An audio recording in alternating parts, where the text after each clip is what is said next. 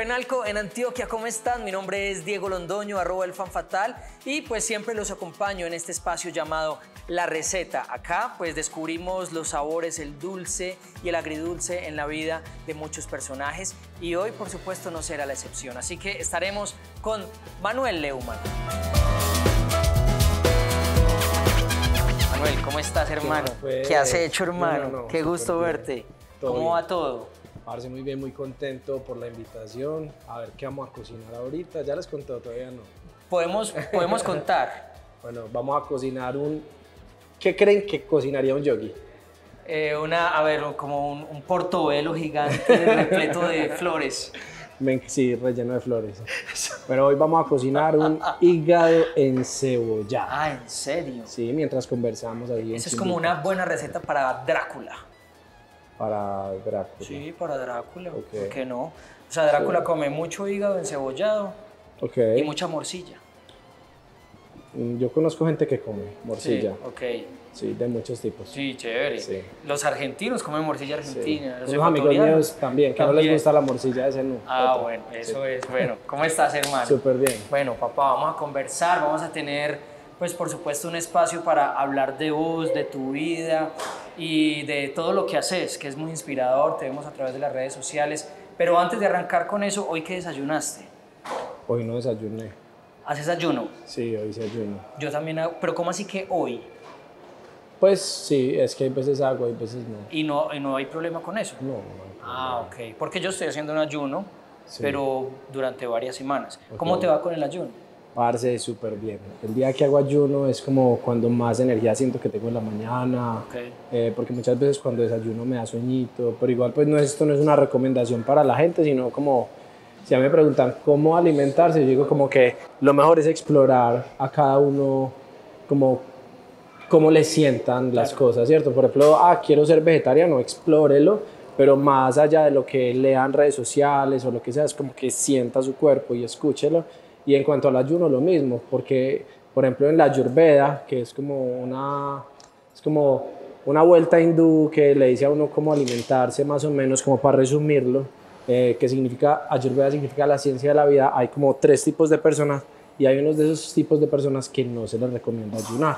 Entonces, Ok. si por ejemplo vos tenés el metabolismo muy, eh, muy acelerado, sos de esas personas que tenés con textura delgada, a vos no se te recomendaría tanto el ayuno. ayuno. De hecho, te caería mal. Ok. Entonces, como que no es una receta para todo el mundo. Ok. Eh, simplemente como que explorémonos, sintámonos y eso para mí es alimentación consciente.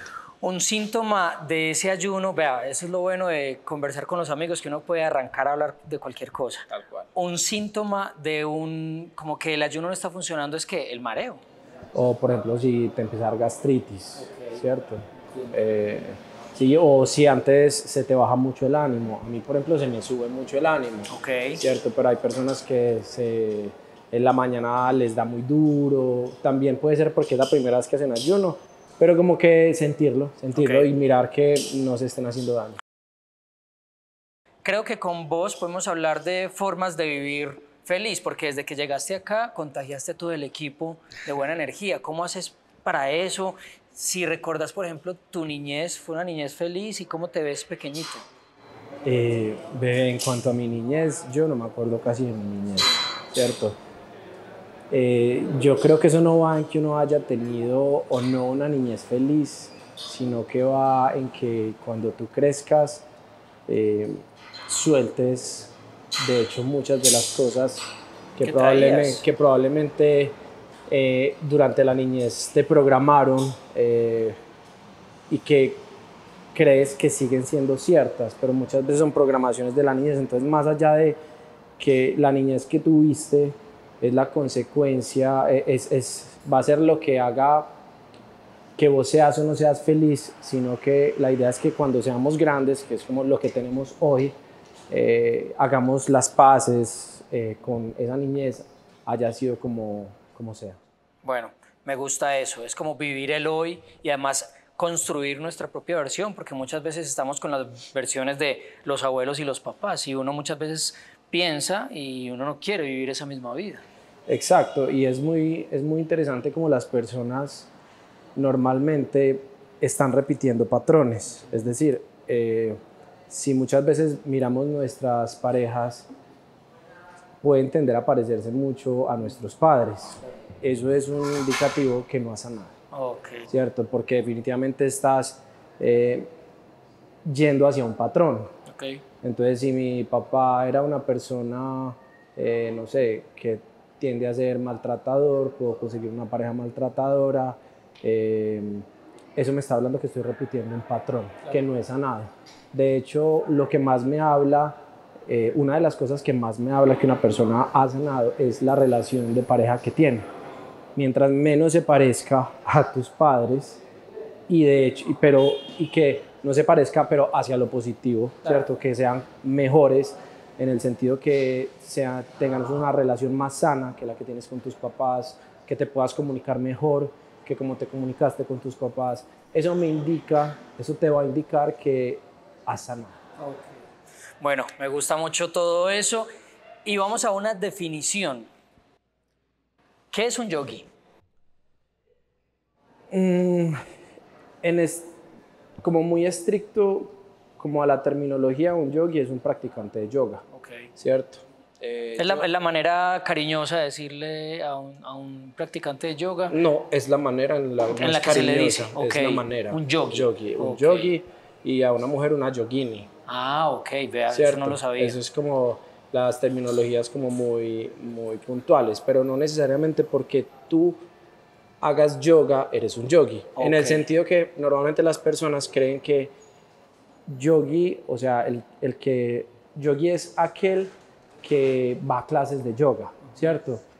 Pero el yoga es como toda una filosofía. Yo, por ejemplo, no me considero yogi, ¿cierto? A pesar de que me definen muchas veces así porque hago mucho yoga y soy profe de yoga, hago retiros de yoga, pero de muchas otras cosas más, la gente tiene esa idea de que soy yogi, pero el yoga es una rama filosófica, es una, es una filosofía, perdón, con diferentes ramas, que no solamente te- eh, la parte de, lo, de la práctica de yoga que conocemos, donde hacen posturas y eso, eso es solamente una parte, línea. una línea que es asanas, ¿cierto? Pero la, un yogi tiene que tener como unos principios de comportamiento, un tipo de alimentación, Ok. eh, unos servicios devocionales, eh, debe hacer unas prácticas de mantras, pues como es casi, no lo diría como una religión, pero sí es una filosofía de vida que mm, raya mucho con la religión. ¿Tú sabes qué es NEA? Nacido en Antioquia. Muy bien.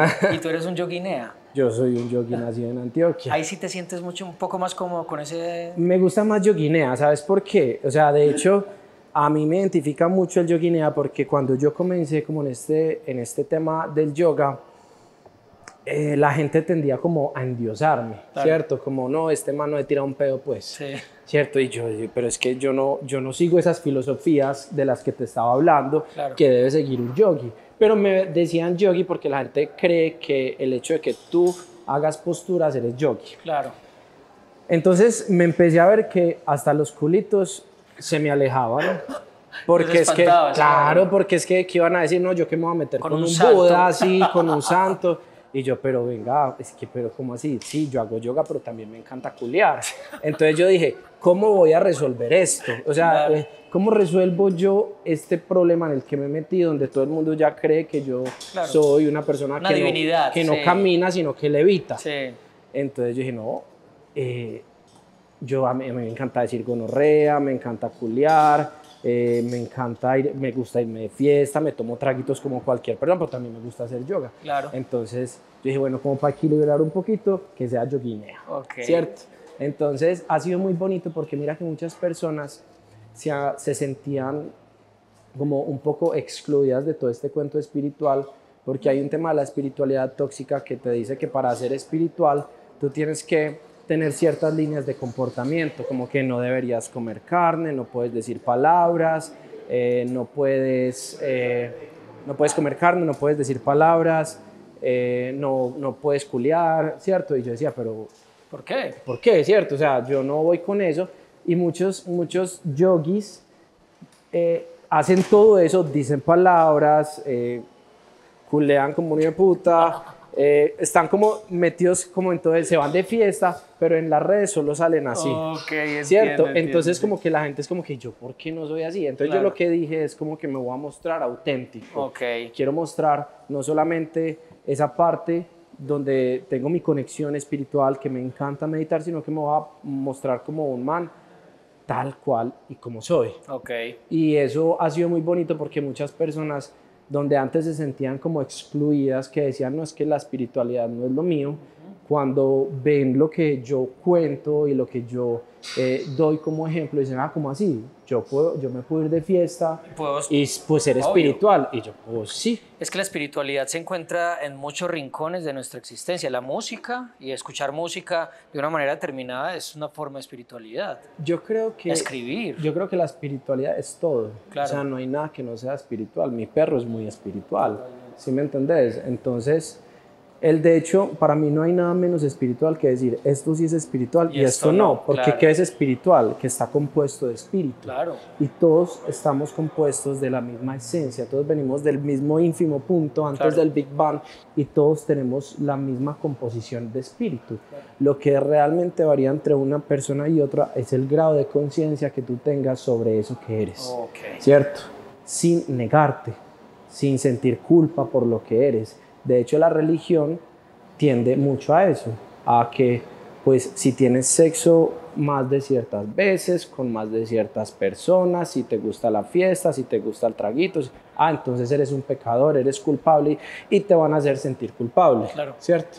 Eh, pero lo que yo estoy intentando hacer es liberar a las personas de la culpa mientras yo mismo me libero de ellas, porque también es mi trabajo. Claro, total. Pues bueno, ya ven que tenemos mucho de qué conversar y hay una parte de la espiritualidad que me encanta y es la cocina. Cocinar. Hablemos de, de comida. ¿Tu plato preferido cuál puede ser? Mi plato preferido, se vale decir culo. Eh, bueno. Bueno, Ya. sí. Y de gastronomía real. Mm, Bueno, de la gastronomía convencional, a mí me encanta el mondongo. Uh, Sí, pero yo no nos pongo, yo no sé preparar un mondongo. yo tampoco, entonces- pero hay unos lugares en los que venden un gran mondongo. El mondongo es un gran plato. ¿Cierto? Muy bueno, muy bien. ¿Hace cuánto arrancaste vos en este, en este mundo? Eh, en este mundo arranqué hace Del yoga. 35 Ok, años. del yoga. Ah, la vio venir. Del yoga y de la creación de contenidos también. Eh, yo empecé con el tema del yoga hace más o menos 10 años. 10 años. ¿Y qué te llevó allá? ¿Antes qué hacías? Yo era fotógrafo, eh, manejaba redes sociales de otras empresas, eh, siempre fui independiente, también eh, soy músico, eh, compositor, toco piano, guitarra, canto, compongo, tenía una banda. eh, me gusta, también soy buzo, hacía muchas cosas. y cuando conocí el yoga, pues me conecté un montón. Y, y de hecho al principio en las redes empezaba como a publicar de todo. Y yo dije, bueno, no, voy a publicar como solo de esto porque la gente es como, no entiendo No este sabes, man, ¿qué claro, es? Y ahora poco a poco les he soltado un poquito más porque mi vida no es solamente yoga, sino muchas otras cosas. Bueno, ¿cómo es un día tuyo? Mira, casi siempre en las mañanas yo estoy dando terapias. Terapias, yo hago terapias virtuales, yo soy terapeuta, soy hipnoterapeuta clínico con enfoque en regresiones, biodecodificador. eh, y entonces todas las mañanas estoy como haciéndole acompañamientos a muchos pacientes que yo tengo. Después de eso, eh, trabajo mucho como en la, en la planeación de los eventos que tengo próximos, retiros para buscar marcas, formas de patrocinarlos, etcétera. Entonces como que en este momento estoy muy enfocado como en la planeación de, mi, de mis agendas. Ok. ¿Y le sacas tiempo al ocio? ¿Qué haces que te guste hacer pues como por, por vos mismo, además de, del trabajo? Me encanta rascarme las bolas. O sea, yo soy fan de rascarse las bolas sin culpa. Entonces, como que para mí se- acostarme en la cama El rasking ball, pues, eh, que y jugar rasking ball un ratico es todo lo que está bien. Me encanta, me parece wow. Eh, ¿Sigues haciendo realidad- música o no? En este momento llevo mucho rato sin hacer música, hay veces hago acroyoga con unos amigos, eh, sí tengo muchos ratos de ocio. Tenía sobre todo, porque ahora desde hace unos poquitos meses estoy súper enfocado como en lo que viene para el año entrante, porque viene mucho, mucho camello. Bueno, pues maravilloso, eso, eso nos gusta mucho. Y además en redes sociales estamos muy activos, creando. ¿Cómo es un poco el, el flujo de trabajo con lo de las redes sociales? Bueno, eh, con el tema de las redes sociales, la gente cree que yo tengo como una, como una, parrilla, una parrilla y no, ¿sabes? Eh, es muy orgánico. Por ejemplo, hace días no publicaba porque he estado más tiempo en Medellín o en la ciudad y como que aquí no me inspiro tanto, entonces no creo tanto contenido, estoy más enfocado en otras cosas, pero como cuando yo voy a lugares rodeados de mar, de bosque, estoy, me conecto un montón digamos que me llega mucha información que me nace compartir y la comparto. Es decir, yo lo que comparto va siendo muy orgánico con lo que yo voy viviendo, pero no tengo como un esquema o una parrilla de publicación. Okay. Bueno, hablemos de comida y de, y de preparaciones. O sea, sos buen cocinero, usualmente... Soy buen cocinero. Cocinero, ah, bueno, por todos esos lados. Usualmente preparas tus alimentos, ¿Te metes a la cocina a cocinar? Sí, le soy muy honesto. ¿O solo por este programa? No, en este programa, no, yo sí. Lo que pasa es que en este momento de mi vida estoy muy migratorio, ¿cierto? Estoy como yendo... ¿Más nómada? No, no le digo nómada, porque el nómada es el que no pertenece a ninguna parte, yo pertenezco a muchas. Ok. ¿Cierto? Entonces yo voy migrando, en este momento estoy entre Medellín, Bogotá, Ciudad de México, Sayulita y Tulum. Estoy así, ¿cierto? Eh, tengo unos lugares, pero en los lugares no hay buena cocina. Entonces, pues como que no me inspira mucho cocinar, pero cuando he estado en, en largas temporadas en lugares con una buena cocina, me encanta cocinar. Entonces, como que depende mucho en qué momento esté. Además del eh, hígado encebollado, ¿qué preparación crees que te sale bien? ¿Qué preparación? Ah, me encantan los frijoles. Sí, frijoles. Me caen súper bien los frijoles. ¿Chicharrón o no? Yo no sé preparar chicharrón. O sea, creo que es muy fácil, pero... Sí, es muy fácil, pero come chicharrón. Sí, sí, pero por supuesto. Muy bien. bueno, pues yo creo que ya estamos casi listos para irnos a la cocina, pero una última pregunta, sueños que tengas por ahí. Creo que, que has cumplido muchas cosas que has querido. Buzo, músico, compositor, ahora haces yoga, sos un referente para muchas personas, pero sueños actuales. Mi sueño en este momento es poder seguir haciendo lo que estoy haciendo, eh, pero llegándole cada vez a más personas eh, y enfocarme mucho más en el servicio a los demás. Eso es realmente mi sueño. Creo que estamos listos entonces, después de ese sueño, vámonos a cocinar. ¿Te parece? Vámonos por el hígado encebollado y estos son nuestros ingredientes. Bueno, Manuel, tenemos entonces los ingredientes de tu hígado encebollado. ¿Cuáles son los ingredientes? es lo más básico del mundo, No es sino hígado, cebolla, miel. Ah, bueno, y pues obviamente para que no se pegue, le ponemos eh, aceitico y un poquito de sal. Y una guarnición que ustedes pueden usar puede ser la papita.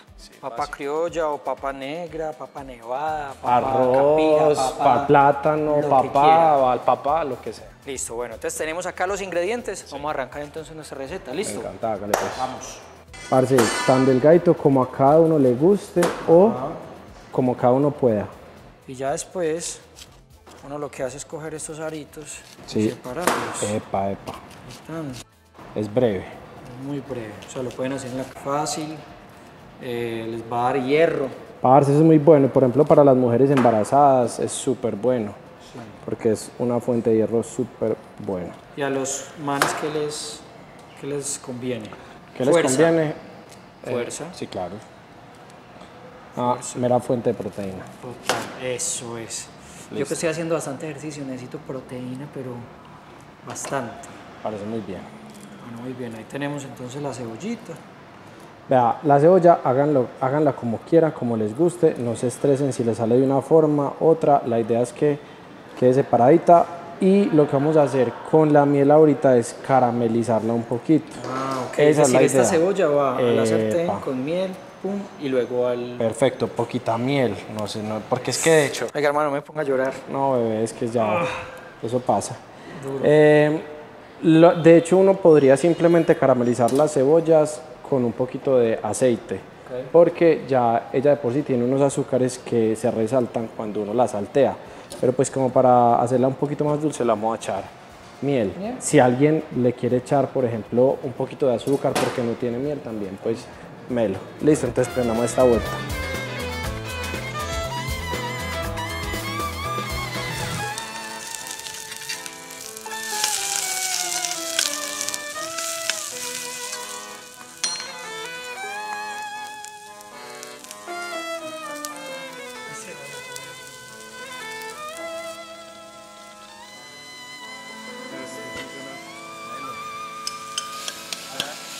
Ahí se está caramelizando ya la cebolla. Y cebolla roja o cebolla blanca o la que sea, no hay problema. Parce, la verdad, la que sea. Ok.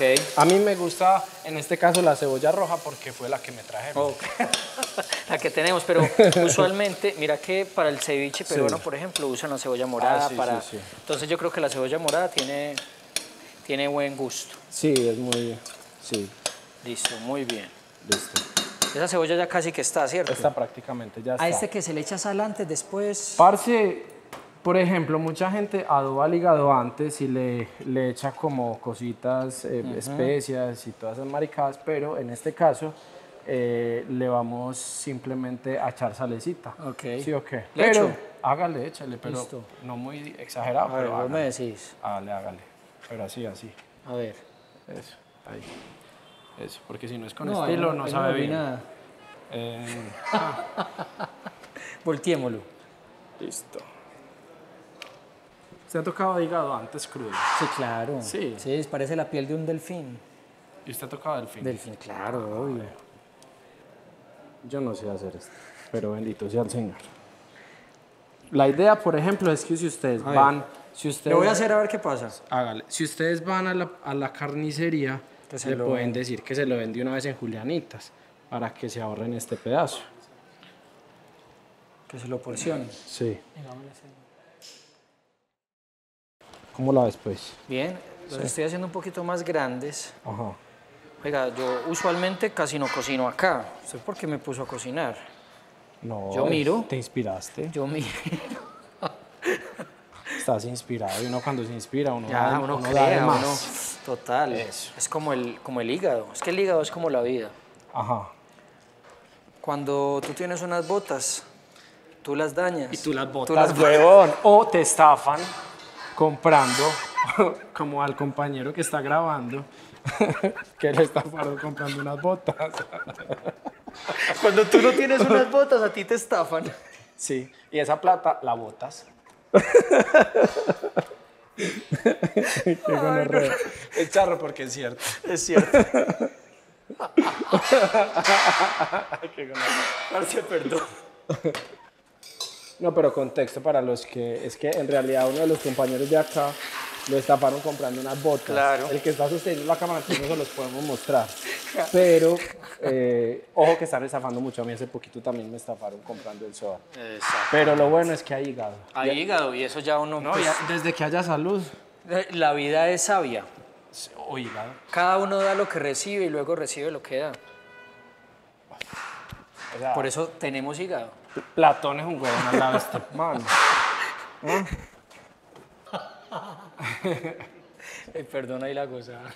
No, pero está bien. Hay que res- si tú no tienes botas, tú las compras, te estafan y las botas. Y esa plática la botas. Ahí está. Ahí, véalo ahí. Ahí está. Este es águila, ¿qué pasó? Tenemos hasta águila propia, weón. Ese es mi animal de poder. El águila. Sí. ¿Cuál es tu animal de El poder? gallinazo. Ese fue en algún momento.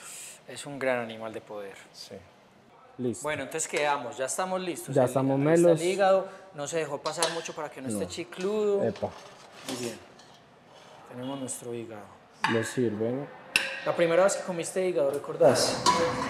No recuerdo la primera vez que comí hígado porque fue muy chiquito, pero yo fui 10 años vegetariano. Ok. Y la, lo primero, mi Después ba- de- mi barnishba de la carne, o sea, cuando volví a comer carne, Sí. Fue con hígado. ¿Y por qué decidiste volver a comer carne? porque definitivamente me di cuenta que eh, mi cuerpo necesita carne y estaba viva distendido, súper peorro, Ok. o sea, pero así literal. Sí, mal. Mal. Y sin energía. Sin energía. Y me di cuenta que era la falta de carne. Y la el primer plato de carne que comí fue hígado, hígado crudo. Crudo. Crudo.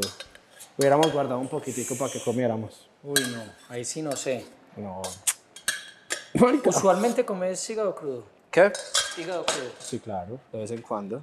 A ver, probemos pues a ver cómo quedó. A ver, pues. Dale. A ver. Yo por aquí vi un pedacito que me encantó. A ver, esto. ¿A quién le dedicas Salud. este plato? A ti. Salud. Listo, yo también a vos. Salud.